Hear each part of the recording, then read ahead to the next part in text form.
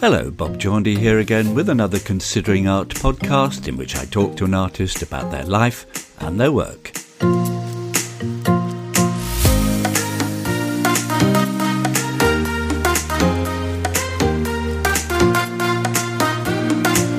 Andy Holden is one of those artists who can turn their hand to almost anything.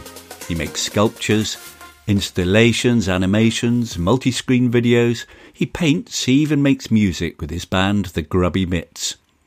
Art has dominated his life since his school days. It was then that he and four of his mates drew up the manifesto for a new art movement called MIMS Maximum Irony, Maximum Sincerity. Some years later, he resurrected it as an exhibition at the Zabludowicz collection. Called A Unified Theory of MIMS, it featured reconstructions of conversations and events, and even assembled a school choir and orchestra to perform songs they'd written at the time. Andy Holden first came to prominence in 2010 with his exhibition Art Now Andy Holden at Tate Britain. At its centre was Pyramid Piece, a huge knitted boulder that was a replica of a small rocket stolen from an Egyptian pyramid as a boy and later returned. Among many acclaimed shows was one in which he cooperated with his father, Peter Holden, who's a well known ornithologist, called Natural Selection. Looking at the extraordinary care and attention with which birds build their nests, he posited the suggestion that they were transcending functionality and engaging in works of art. The exhibition toured the country and got five star reviews. He spent six years working on an hour long filmed lecture that was narrated by himself as a cartoon figure. Laws of Motion in a Cartoon Landscape was based on the premise that the world had become a kind of cartoon and is best understood as such. It was hailed as a masterpiece by the art newspaper and was included in the 2017 Venice Biennale. His latest exhibition, called The Structure of Feeling, currently running at Block 336 in Brixton in London, takes the form of a fairground ghost train in which viewers navigate their way around in electric vehicles. They stop off at various points to plug into animations, which again feature Holden's own cartoon avatar expounding on different subjects as he navigates a cartoon landscape trying to make sense of the world. There's also a 3D film featuring eyes in space, as well as an assembly of his sculptures. I visited Andy's studio in Bedford, where he lives and works, to find out more about his life and career. Andy, welcome to the Considering Art podcast. Right, thank you. Thanks for having me. Uh, we're sitting in your studio. It's full of the kind of things you'd expect an artist studio to have. It's full of uh, bits of past exhibitions, books, paintbrushes, everything. But it's just more than the studio, though, is it? Yeah, I, I mean, I guess it's a physical manifestation of the inside of my head. It's a gallery as well, uh, although not at the moment. I've paused it because of the complications of uh, yeah, a global pandemic. We had a really lovely show this year with comedian Simon Munnery, and um, there's also the music studio upstairs, which is where the Grubby Mitts rehearse. Um, but again, we're just not rehearsing at the moment. One, there's no. It's very hard to keep momentum going when there's no live shows. But I've always had a space that allows me to do a number of things in one place. Well, you mentioned the Grubby Mitts, and they're from your old schoolmates, aren't they? Hmm. Your school interests me because when you were at school, you came up with this alternative art movement called MIMS, Maximum Irony, Maximum Sincerity. Let me just read a bit of it. You quote Picasso We all know that art is not truth, art is the lie that makes us realise the truth. And you talk about MIMS being the willingness to be lied to and the will to believe. It's a, it's a quite a, an advanced sort of thing for for teenagers to be talking about. If I was to look back at some of my teenage stuff, I'd probably just cringe. But you were obviously quite deep thinker, you and your mates, even at that age, weren't you? I'm not sure we fully understood everything that was going into it. I mean, it was a surprise to look back at it 10 years later and find that it kind of held up. There are some slightly toe curly lines in it, but James McDowell, who was the man who m- more responsible putting pen to paper, uh, is now pretty astute or a really a good way, a good turn of phrase that allowed it to actually come out with a clarity that I think was more, maybe even more clear than it appeared to me at the time. You know, um, but it was interesting that the ideas. I mean, at the time, we were deeply invested in them. You know, it's what we talked about every day. It was what we kind of worked through. It's what we were doing for our performances. It was what we were trying to channel into the artwork. But it didn't really catch. It couldn't really persuade people that it I mean, even if who were these people we even thought we were talking to? We don't know. In, in Bedford, it just didn't. It wasn't. There was no. There was nothing for it to catch on to. There was nothing. nothing. Um, but then I took it when I went to Goldsmiths for my undergrad to art school in London. Took it with me, and I remember even then, though, actually the tutors not being that interested in it. And it was only 10 years later when I started to notice a lot of these similar phrases bubbling up on the internet. And it allowed a kind of, obviously, the internet suddenly allowed a connectivity between lots of people doing similar things in different parts of the world, and people talking about an oscillation between irony and sincerity. Uh, talk about the two things being um, linked again, uh, and a type of structure of feeling, let's call it, of art production that uh, this could be a useful umbrella term for. I thought, wait a minute, that's the formulation that we kind of had back then. And then I thought, okay, I'm going to go back to it and explore it and try and make sense of it. So I've now, it's now very complicated for me because I've sort of been through it twice. I went through it once in real time as a teenager, sort of the cusp of 18, 19, 20, and then went through it again 10 years later as a sort of artist director, putting teenagers who were that age in to re-perform it and re-bring it back. So I've, I've been through it twice now, so it's very hard to unpick what it means to me, or to, with a sincerity and a belief in the thing that you did the first time, but also an ironic distance. So it's, it's become a kind of strange knot of. so it was, it was more than just nostalgia. With the revisiting it, yeah, yeah, but then nostalgia was always a part of the process anyway, and nostalgia was always deeply embedded in Mims even the first time round. Or it was looking at more so the power of the kitsch image, the nostalgic image, but through a lens of a kind of irony, but also the deep sincerity that was embedded in these images. So they were actually a kind of starting point for it first time round.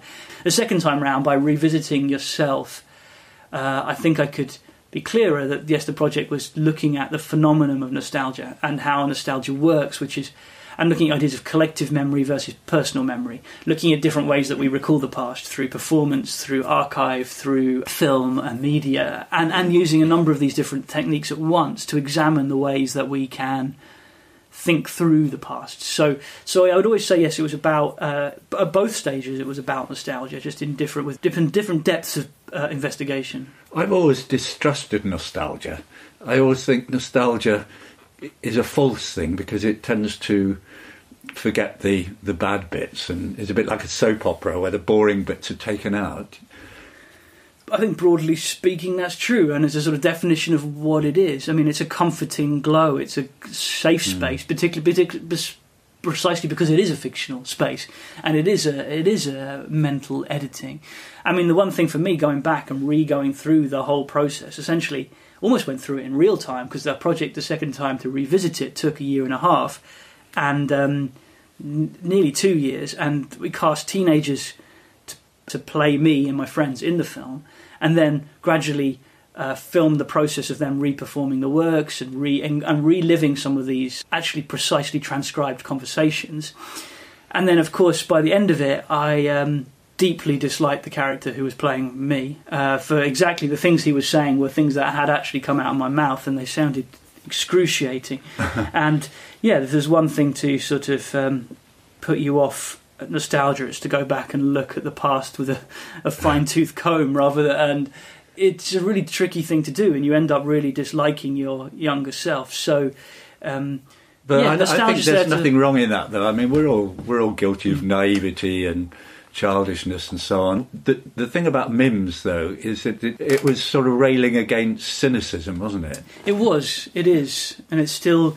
If there's one bit of consistency that comes out of that project into the rest of my work, it's still that. I think um, cynicism exactly was the enemy. People get this is why it's and it was a lot of the trouble was articulating the difference between irony and cynicism, and irony as a kind of more romantic irony, which is a, a kind of knowledge that you might not fully ever completely connect with or be completely sort of in the legacy of kind of romantic literature, one with something.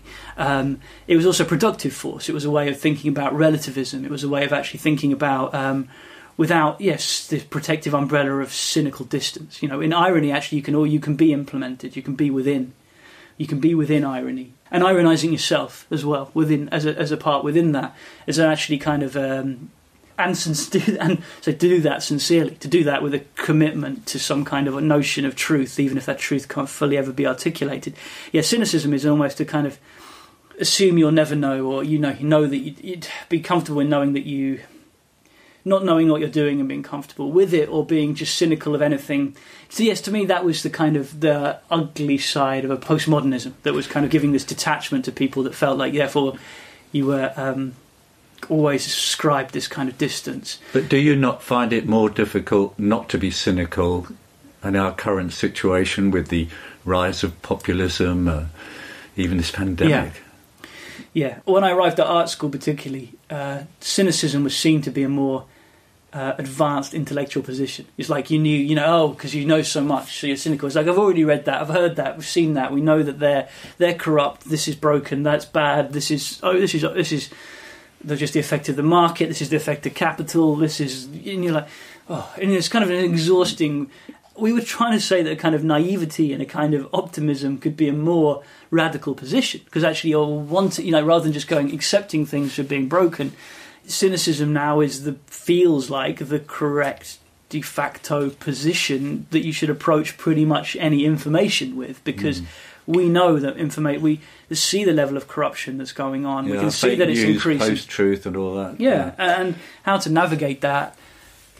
And it's but it's hard. It's very wearing. I think that we're all becoming kind of broken by you know it's hard logging onto Twitter now and watching because it's just what it is. One seemingly cynical move by somebody received by you cynically. Um, it's very hard to spot. There are these little moments. It's when something like two days ago with Marcus Rashford and his his Twitter stream suddenly flipped to just places that were giving away school meals from all over the country.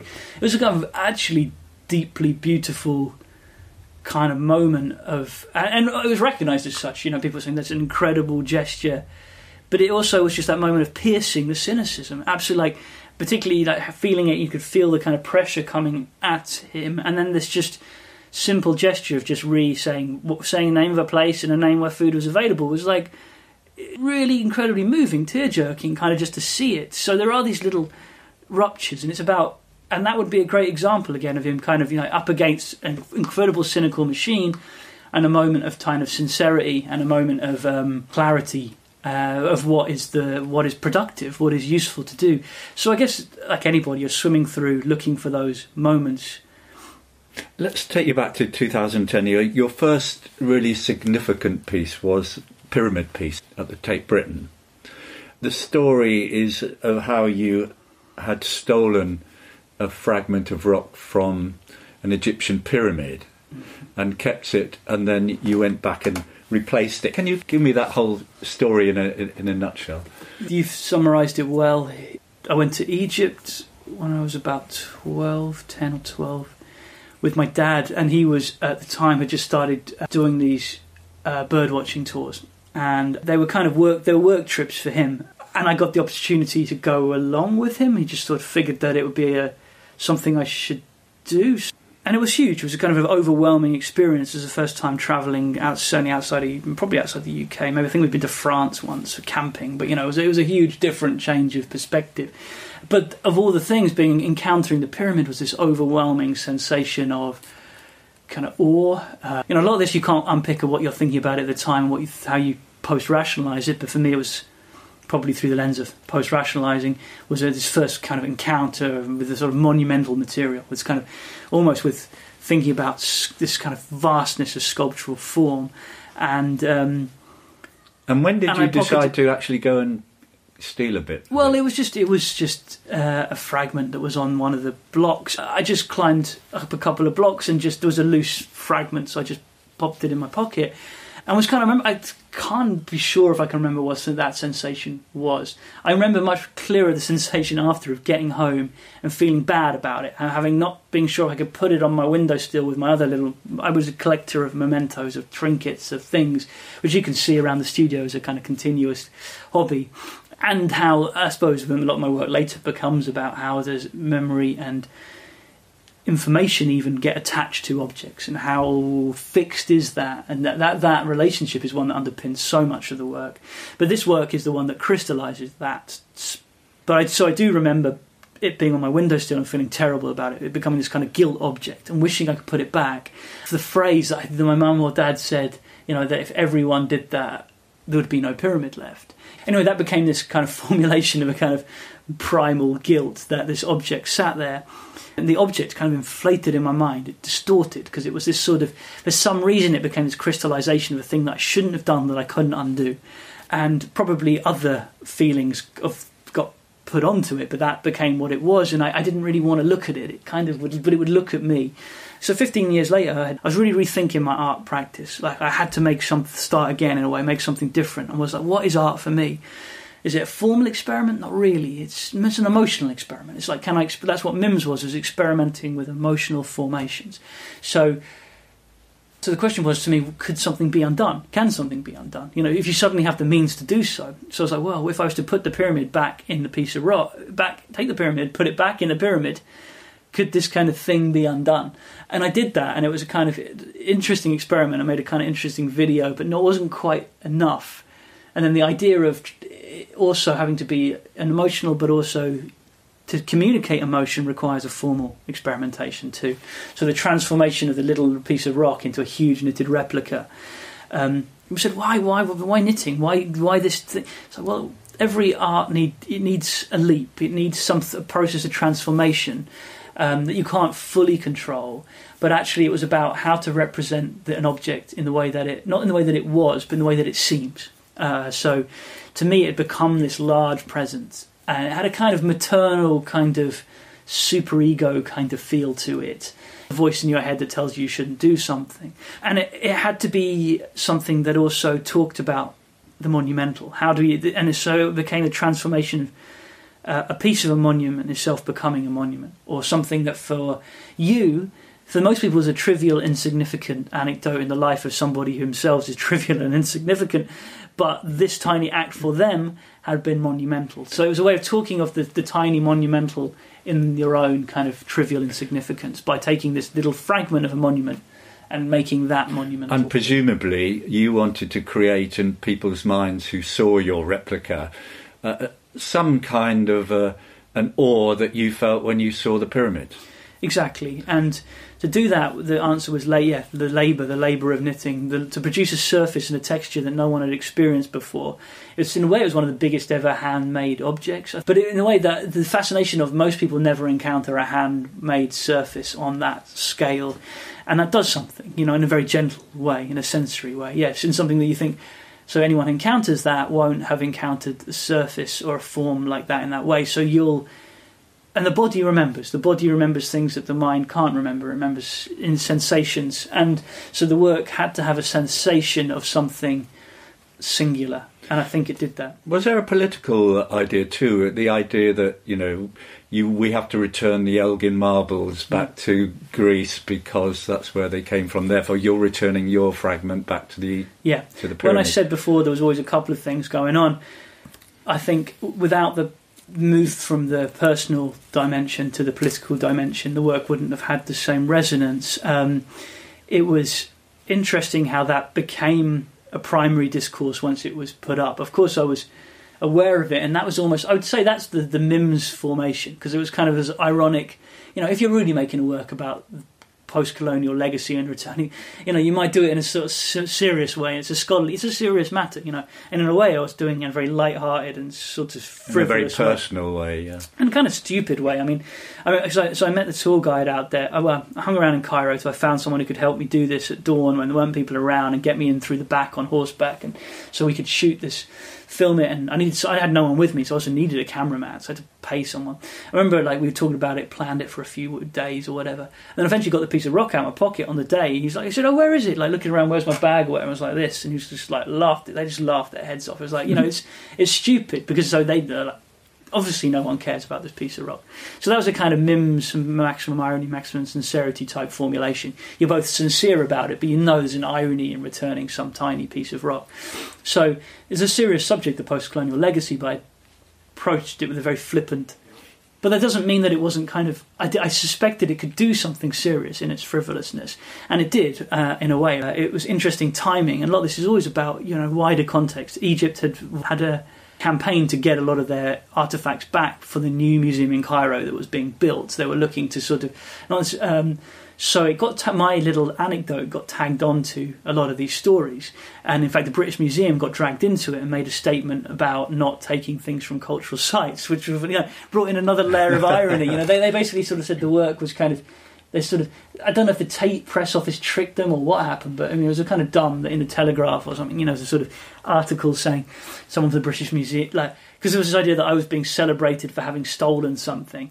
But you know, the idea of doing that in a British context of British museums is ridiculous. When almost every piece, every object in the British Museum has some kind of uh, problematic edge to it. Isn't it so, amazing how your little fragment suddenly has become a kind of emblem of post-colonial exploitation and a tourist icon, a, a, part of an ancient civilization that's disappeared, and it just becomes much more than a piece of rock. Yeah, yeah. This tight, and again, that was that movement from the absolutely arbitrary and completely innocuous. I mean, the piece of rock on its own. See, this was always my problem when I got it home. It had no. It just was a piece of rock. It kind of went. Oh, once you separated it from the thing that it was part of, it, it was so apparently nothing, and yet it had this link to something so huge. And that's what you I talk about the kind of this relationship between the anecdote in the text and the object, and those and how you can move between these two different these diff, those constantly exploring those how those two are inseparable from each other. Andy, let's move on to one of your other big uh, exhibitions called Natural Selection. Outside your studio here is uh, one of your exhibits, which is a huge reconstruction of, of a bird's nest. I think it's the bowerbird, is it not? The, the, the, exhibition really, amongst other things, looked at the sculptural properties of, of birds' nests, and they are quite extraordinary. Can you just give me ex- a few examples of, of how birds' nests are constructed and attain artistic qualities in your mind? The bowerbird's nest is important because it is really one of the only visible structures in the animal world. In my mind, it's sculpture. It can be reduced to the idea of sexual selection, which is, I mean, not just it can be, it no doubt is a part of the concept Impressing of a mate. You mean? It's about it's the equivalent of plumage or song. But the, the, interesting thing for me is it is externalized and it requires a kind of judgment. You know, it doesn't require judgment for the bird to produce fine feathers. It's born with fine feathers. It doesn't really. I think the birds do perfect their song, uh, but the song that they're given is the same song that they're given, even if they can fine tune it and sing it better. But with a bower, it requires a synthesis of judgment, choosing objects to put around it, to curve the shape, how you build it, the axis you build it along, the size that it is. And for me as an artist, that's fascinating because you're trying to look, think what connects you to the natural world. Where is this impulse? I think most people would now accept that that definition of art as some kind of extended mating ritual is probably not the case. I mean, it's it's there the odd book that still kind of emerges where that sort of evolutionary. I mean, there's everything is part of evolution, uh, but as an artist, of course, you know your idea that anyone who plays the violin or whatever after a certain point of time, you're no, you're into it. You become interested in its development for development's sake. You're interested in it in its own category and for what it can do for you. Necessarily, it's not necessarily even what it does for anybody else. People play do art or music totally privately. It's not a it's not a display mechanism necessarily. There's some other impulse at work, and in the bowerbird, I think is the place where we can identify that. So for me, that was always fascinating. It was where me and my dad's interests cross over. So I should say my dad is an ornithologist. He spent 45 years at the RSPB talking about, looking at, writing about, enthusing people about birds. So I might like anything with my projects as a sub question is where does my interest in art come from? which you could double into where does the interest in art come from? You know, and hence the bowerbird is a useful example. Um, there's a kind of question of nature and nurture going on in the whole project. So it starts with looking at a blackbird's nest in the front garden of my house where me and my dad lived in Blenheim, and I start collecting these, start bringing them into the house at the end of the season because, and then they they do make one, they make it again. It's not a problem as long as it's fully been used. Sometimes something else might use it over the winter, but I was looking at this one, nothing was. Uh, so I started collecting them and looking at them as sculptural objects. And saying, but every year they're you're telling me these are just genetically the bird just knows how to do it, just can do it. It's just a, it's an inherited kind of natural blueprint. It's like sort of Jungian consciousness thing, isn't it? Yeah, so it was some sort of like archetype that it has. And I was looking at them, but every year the backbone made it slightly different. If there was more mud around, it was more mud. If there was more straw, I mean, yes, the proportions are the same, but they have to, and they have to be to hold the eggs and the young. But in the relationship material, something else was happening. Not necessarily a, a judgment of craft, but there was an element of craft going into this thing. Um, so I started to look at those, and that became the springboard for the conversation. So it basically takes you from the simple blackbird cup through to the elaborate bowerbird, and that's the kind of journey, the arc of the project. Looking at these two different ways of thinking about the same object, thinking about it from a natural history perspective, about uh, which takes into account, yeah, evolution, genetics. Uh, is it natural or is it what is it, or is it made? You know, it has a strange status. This object it's been made, but it's also natural. Like so, yeah. and as I talk about it as a poetic concept, as an image of security, and yet it's very precarious. You know, it has all these kind of oxymoronic qualities that I, uh, paradoxical qualities that I um, would expect from a good sculptural object, and the nest had that. So I, I try and look at it through that lens, while my dad tried to kind of describe it away through science in a kind of sort of we're playing versions of ourselves. So slightly were, you, were you complementary or almost confrontational in, in terms of your own theories? There's a, there's a warmth to the. I think it could have been interesting if it was more combative, but we're neither of us are naturally combative people, mm. so it's a very gentle.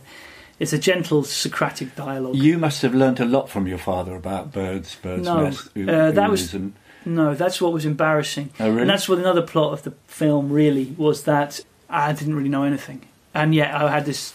My dad's job was to enthuse young people about uh, birds and wildlife. In fact, he did it on Blue Peter. He had he did it on. He had a another TV show where he would do this, uh, and he had a, he, started the Big Garden Bird Watch, which got about a million kids into the garden looking at birds. You know, this was his. Uh, he was very early on the kind of ideas of citizen science and getting young people involved in how you kind of in how we. And his central concept is the more you know, the more you can look, the more you want to save it, the more you might want to care about it. The, one person, of course, who didn't really work on was his son. A lot of this was a kind of giant apology. But I did have my other, you know, I found my own thing, which was making art, and I was obsessed with that, probably in the same way he was obsessed with birds. In the do you same think way. He, do you think he learnt anything from you? Yeah, I think the piece was in the end.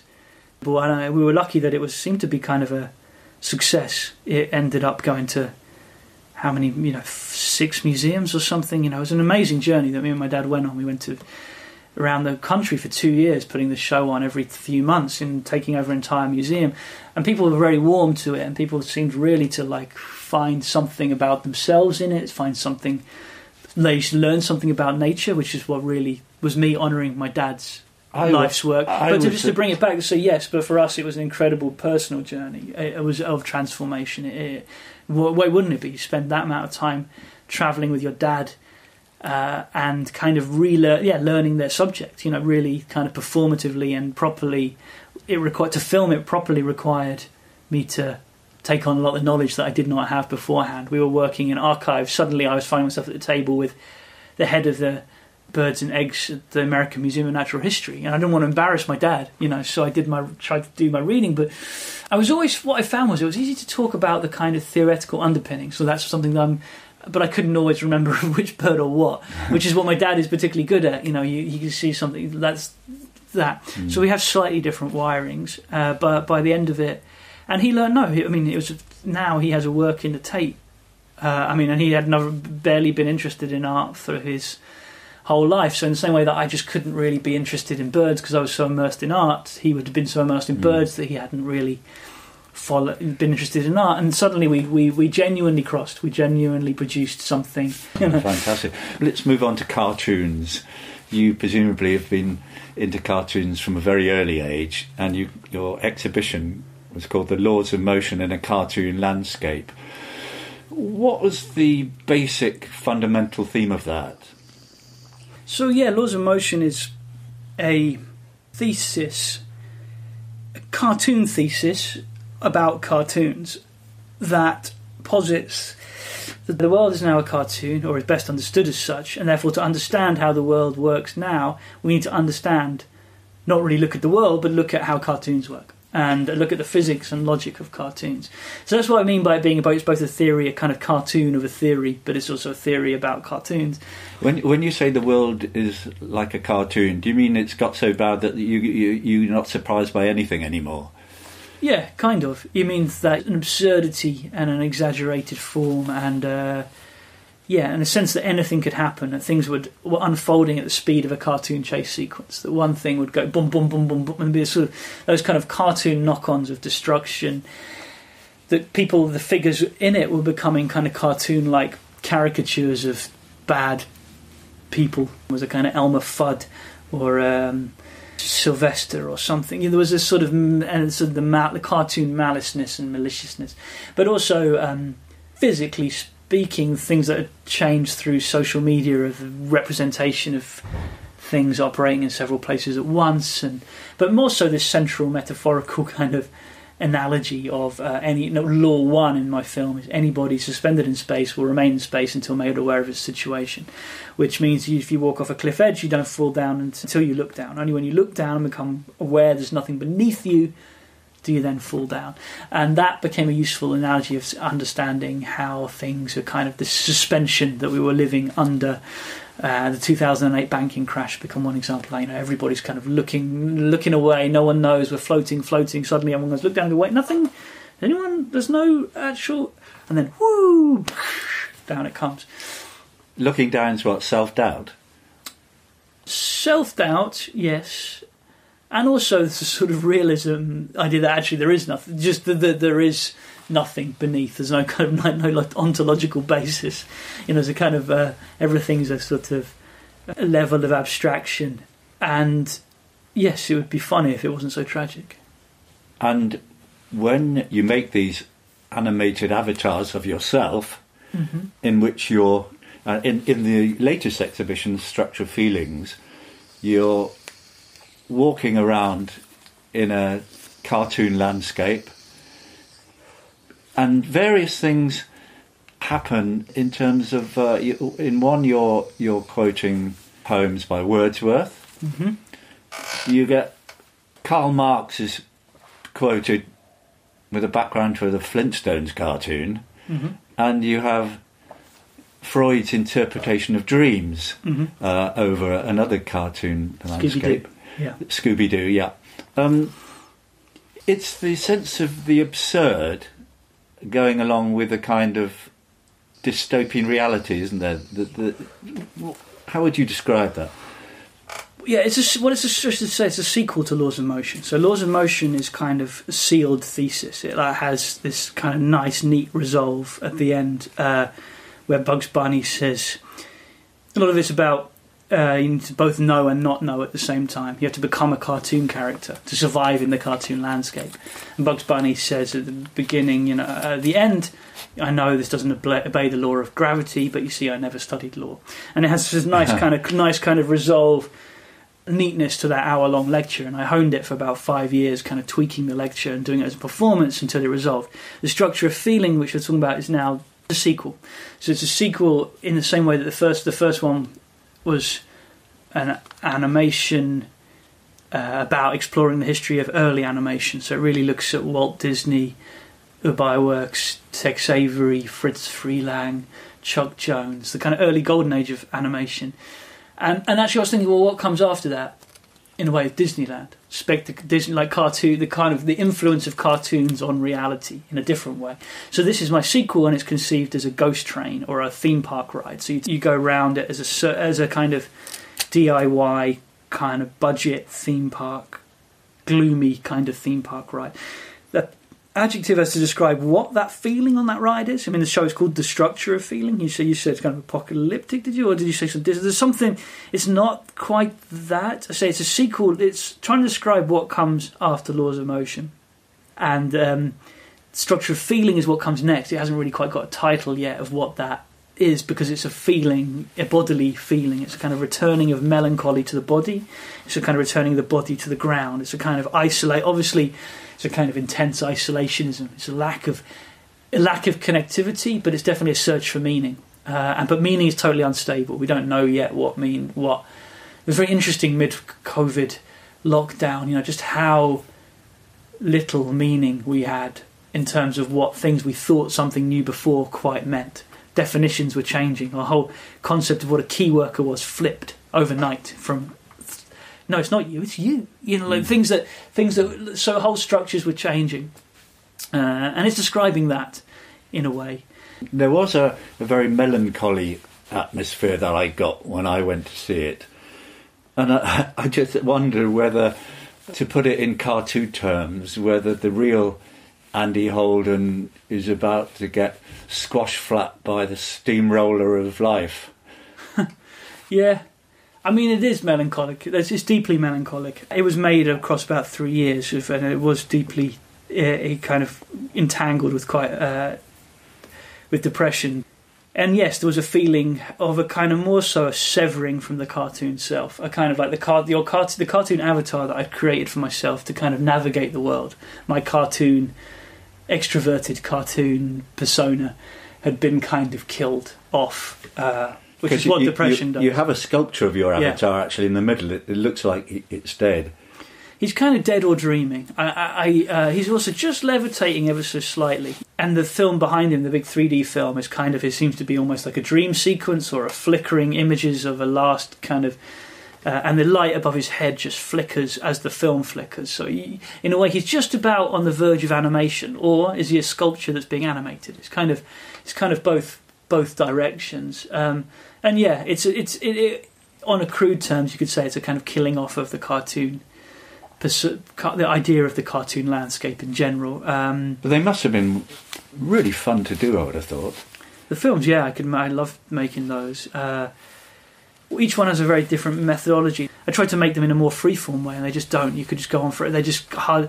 But once you have these sort of tight conceptual triangulations at the centre of them, which is uh, where. So let's take the uh, Wordsworth one. It's, it's all um, deserts from Wiley Coyote and Roadrunner uh, Chuck Jones cartoons. So you 19... take those original cartoons, take out the people, and put yours in in its place. Yeah. Right. So that's that becomes for me a stand-in for the Lake District. It comes to like Lake District post post environmental disaster. So I'm like, okay, that's that.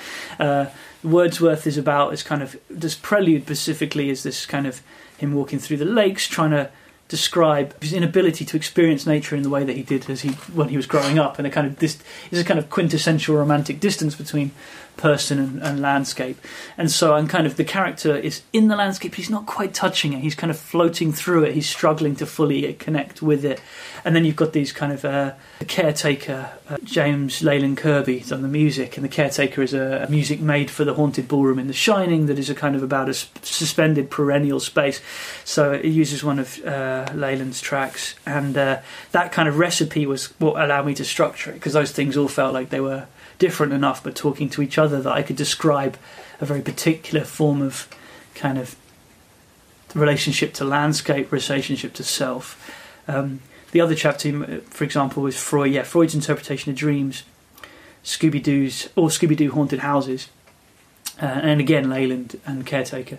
Uh, but the idea was that um, Freud's interpretation of dreams was the sort of first time of putting an analytical uh, interpretive structure on something amorphous and esoteric like the dream space. Up till then, it had been some much more associated with the kind of realm of symbolism, the realm of prediction, the realms of mysticism, and Freud brought it into some any kind of schematic.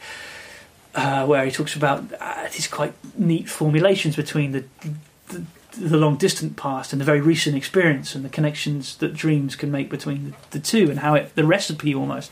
And for me that was fascinating because again it was like okay this is how do we interpret the illogical? How do we interpret the absurd? How do we interpret and cartoon the, the, the cartoon space. So freud uh, that's what that kind of and then i imagined that in a way his interpretation the scooby-doo house formation was like a dream formation. Like every time you go through one corridor, another changes, and it mapped quite neatly onto a dream that I'd had that I'd recorded on my in my dictaphone.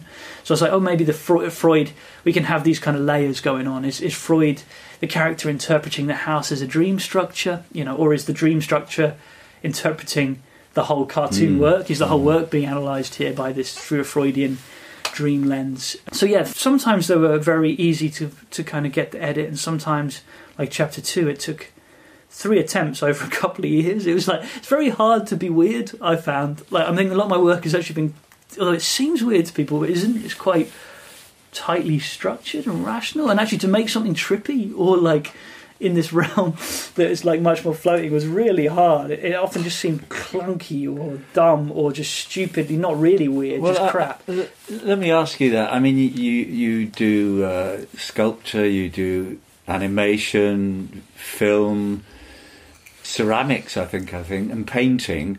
Uh, is there a sort of common thread that that binds all these together in general? I move backwards and forwards in time.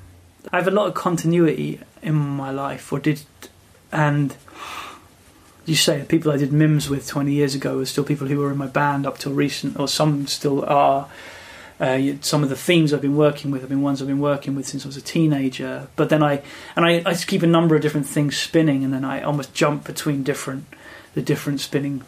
I guess I went away to London for a few years, but then I ended up coming back and living in my childhood bedroom for another seven years while I was trying to get started as an artist because the work was getting shown but not would not sell. So I had to live with my mum and dad whilst making this work. I remember coming out of the house one morning and suddenly just getting totally confused. I couldn't remember if I was going to school, or if I was about to get the bus to go to college, or whether I was going to have to get the car and go back to university.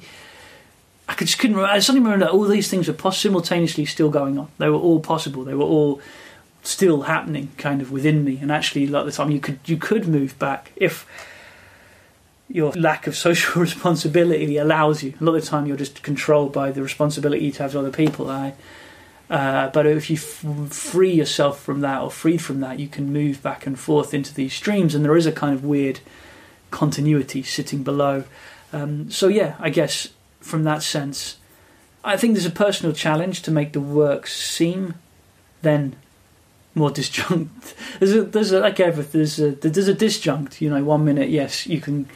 The show is entirely about the natural world and birds, and another moment it's complete about a, complete, cartoon world, and the next thing is about adolescence and memory and irony and whatever.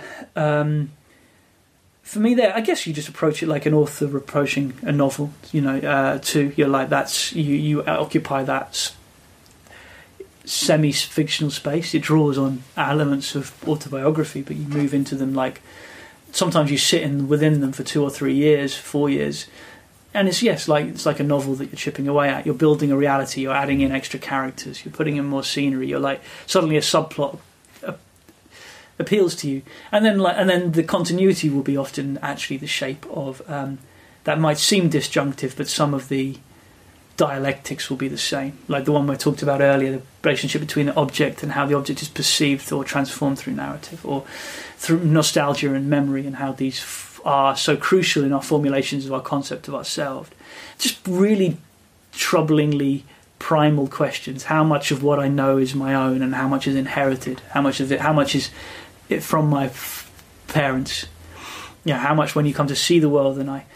Uh, judge it as X or Y. Where did that judgment structure come from? You know, where was that? Was that how? Where does nat- nature and nurture?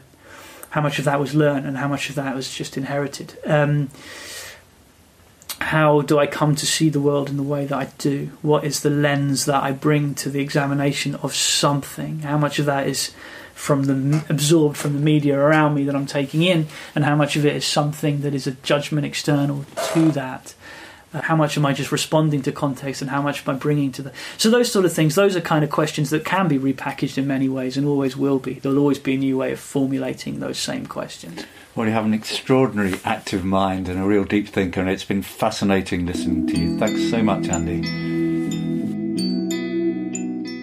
Andy Holden. And as usual I've put some images from the exhibitions we talked about on the consideringart.com website not as usual, we're going to play out this week with music from Andy's band, The Grubby Mitts. Thank you for listening This is Bob Chaundy saying, see you again.